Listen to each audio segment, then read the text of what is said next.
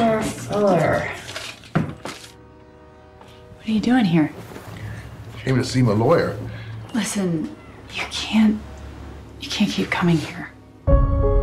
We were wondering about the sandstone in the front yard and if you'd be willing to sell it to us. You don't have to sell it if you don't want to. Gina wants this new house to be authentic.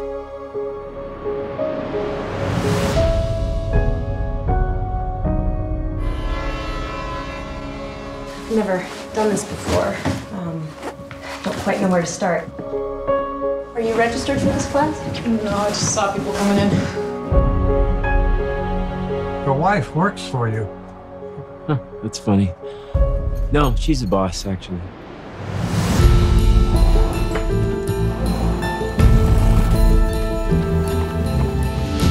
He's gonna tell you the same stuff I've been telling you. I just, I want you to hear it from somebody else.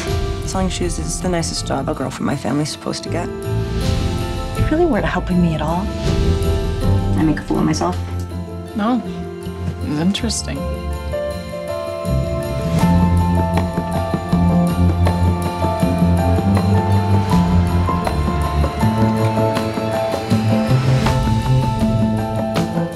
And I make an effort to be nice to your mom. Because? Because neither of us do very well without her. I don't mean to keep you from getting to work or anything. I just knew if I didn't start driving, I wasn't going to see you again. God, you really can't help it. Why? Making me the bad guy.